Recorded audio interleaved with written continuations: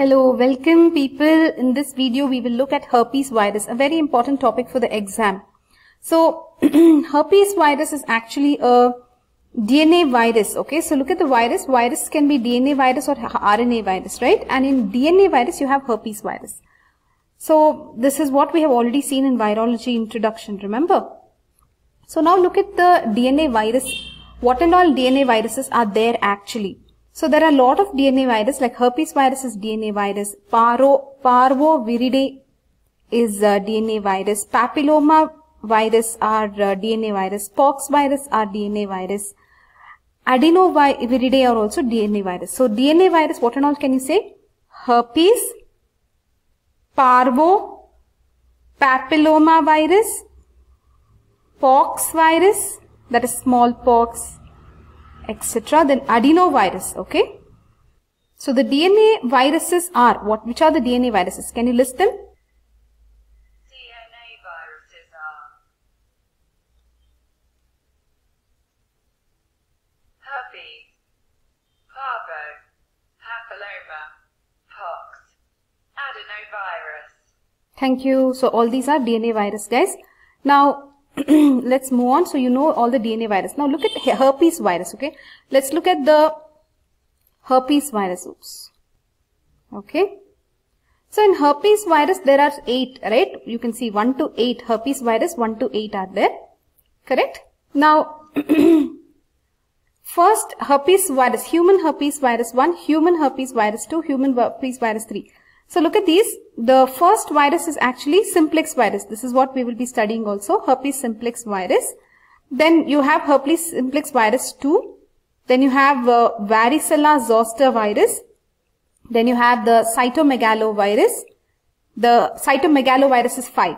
Herpes, human herpes virus 5 is cytomegalovirus.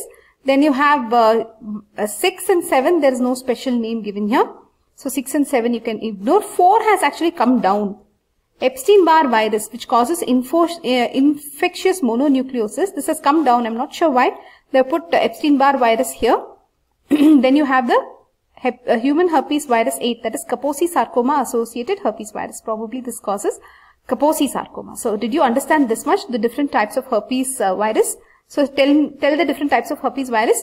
1 and 2 are simplex. 3 is varicella zoster. Okay. Then you have 5 is cytomegalovirus. 4 is actually here. You can see 4 is Epstein-Barr virus. Correct. Then you have 5 cytomegalovirus. 6, 7 not important. You can forget that. And 8 is Kaposi sarcoma associated herpes virus. Okay. So did you understand this much? So the different herpes virus you understood, right? Okay. So let's move on then. The morphology of herpes virus. So herpes virus morphology we will look at now. Okay. So basically look at this diagram and based on this diagram we will try to explain. So there is, um, it is spherical, it has icosahedral symmetry, right? And um, it is a DNA virus, that much you know, it is double-stranded DNA, it is having linear DNA, double-stranded. The only uh, one which has um, circular DNA is this one papilloma virus has circular um, double-stranded DNA. Which one has single-stranded DNA? Parvovirus. Otherwise, always it is double-stranded DNA, linear only. Two exceptions, Parvo has single-stranded DNA. It's a very small, so it has probably single-stranded DNA, single. And papilloma is circular, papilloma, papilloma, oma circular. Okay. Moving on. So let's look at the morphology now. So the nucleocapsid, nucleocapsid is there. You can see this pink color hexagon shape. That is the nucleocapsid. That is the icosahedral capsid or the nucleocapsid. And um, the outer pink line, what you're seeing, that is the envelope. Okay, so that is the lipid layer and the glycoprotein spike. These two together form the envelope. Between the nucleocapsid and the envelope, you can see some purple circles, right? These are tegument. What are these? Tegument. Okay.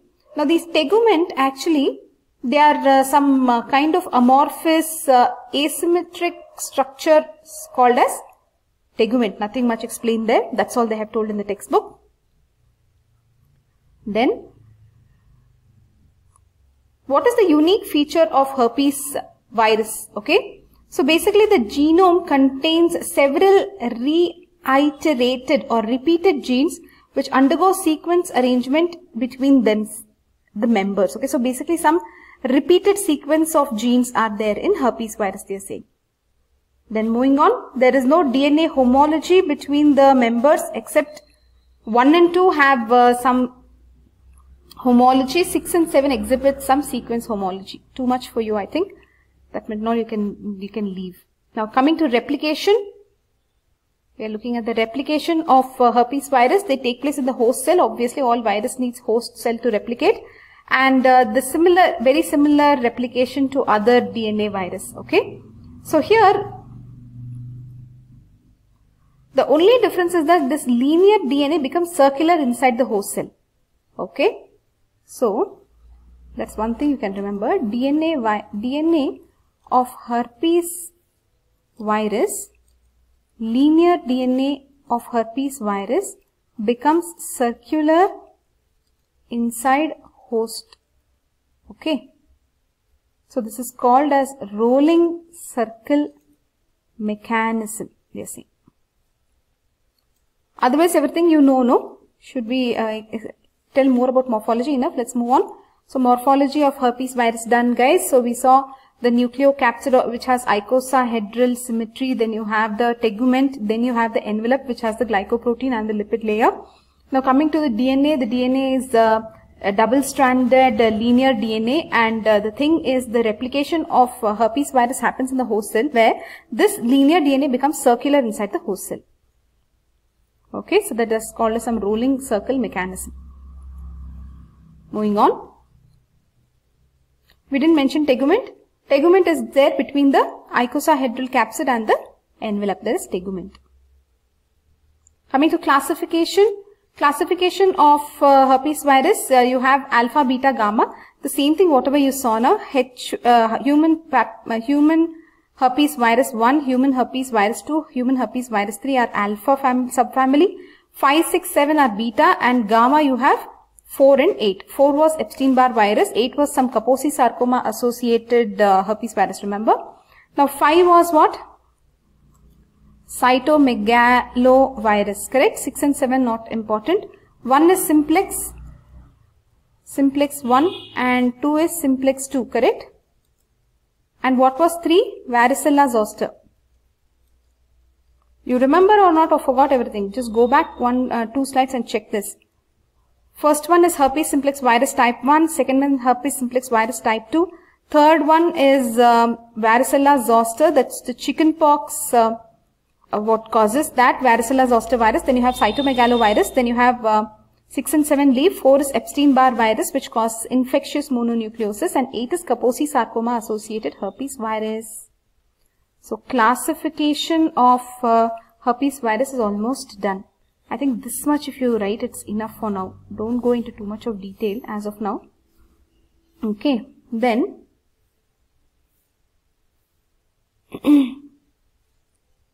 we'll move on to herpes simplex virus. Details of herpes simplex virus. Let's move on. So herpes simplex virus, uh, what and all, uh, it is the first, right? Herpes simplex virus is what?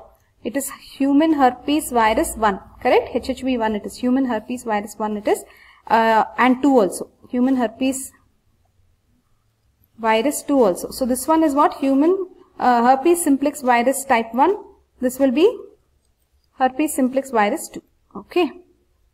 Now you need to know the difference between 1 and 2. 1 actually causes uh, lesions above the waist and humans, uh, what is this? Herpes simplex virus 2 causes lesions below the waist. So this will mainly affect the genital area. This is upper uh, body, above waist. It will affect. Okay, this much for a beginning it's enough. Now move on to herpes uh, simplex virus. Um, so what are they? What and all you know about it? It is alpha subfamily of herpes and um, all about herpes, the same morphology and all you can write. Now, mainly when you say pathogenesis, right, you have primary infection, latent infection and recurrent infection. So this is something, this latency, na, very important in herpes, okay. Now coming to how exactly this primary infection happens. If it is uh, human uh, herpes simplex virus, what is herpes simplex virus 1, then uh, oropharyngeal contact, skin contact, all those will matter. However, it, if it is uh, herpes simplex virus 2, this is because of sexual contact or it can be because of vertical transmission.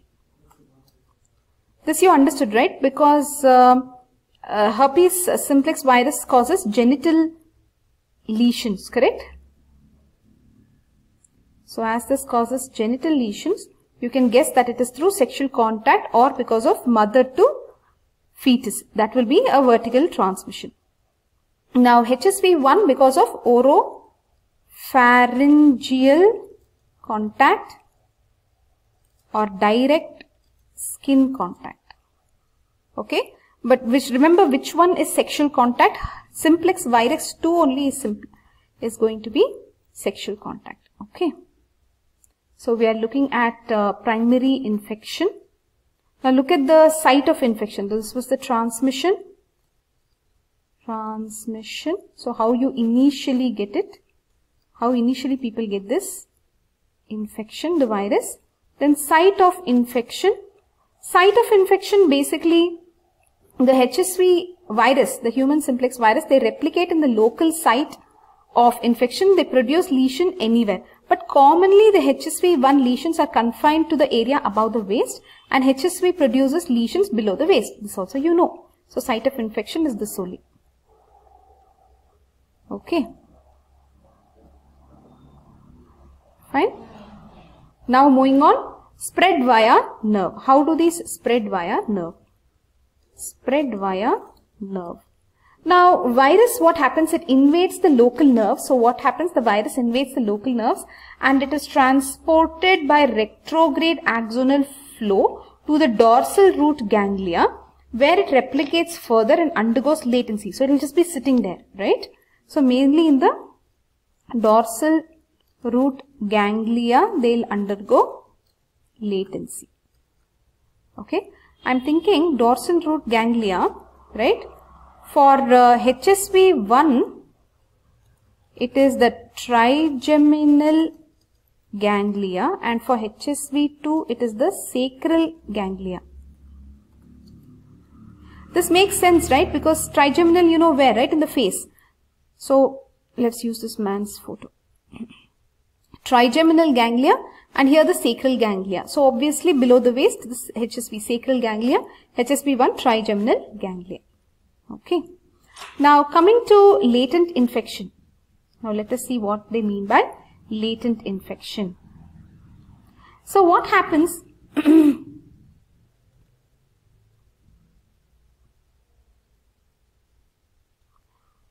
the uh, human what is this herpes simplex virus they undergo latency in neurons okay so the HSV1 undergoes latency in trigeminal ganglia and HSV2 undergoes latency in the sacral ganglia. So already we have told.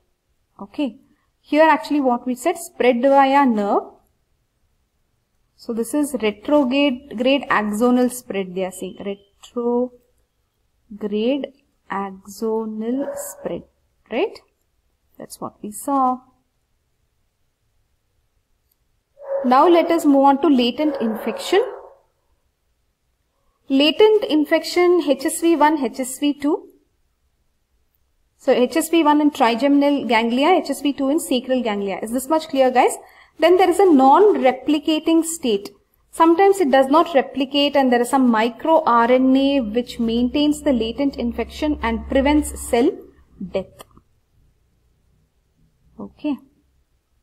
So some non-replicating state is there where it will some microRNA maintains microRNA maintains the virus. So no cell death, but it won't replicate also. Okay, something is there. I didn't understand myself. Moving on, recurrent infection. Now, recurrent infection, there is reactivation. I think we need a break, right? Take a mental break, take a deep breath we are done with the primary and latent infection of herpes virus. So that is the simplex, herpes simplex virus. Now let us move on to recurrent infection. Okay.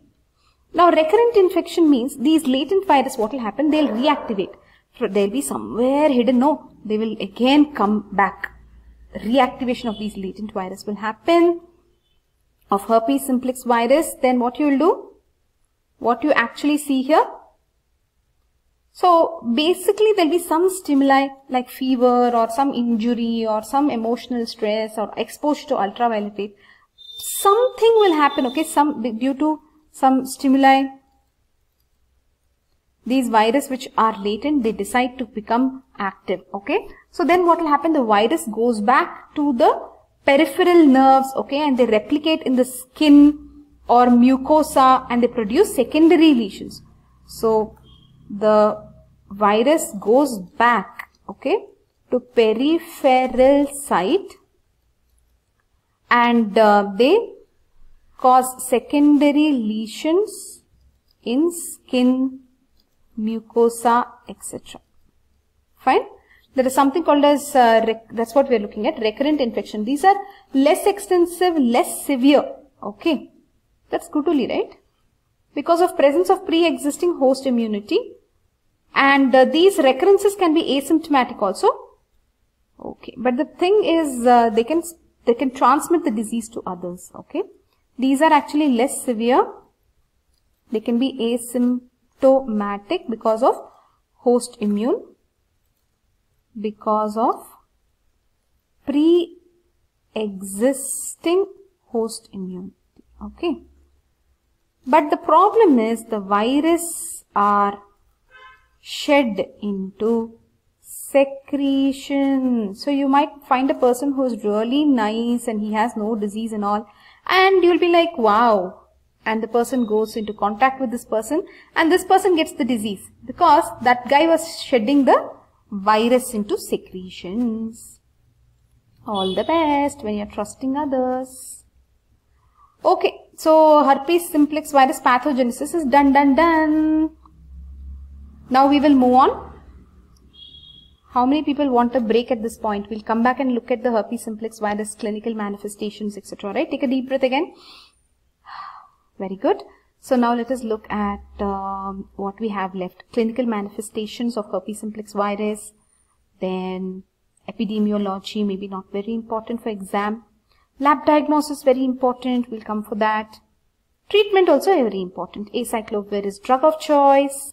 So this much is herpes simplex virus. After finishing herpes simplex virus, we have to look at um, what is the 3, virus 3. What is the third virus test? I forgot. Can you remind me what's the third virus? Okay, so we have to look at varicella zoster. Then we will look at cytomegalovirus, Epstein-Barr virus. All these we have to look at. Okay. To continue with herpes simplex virus, come back for the next video. Bye bye.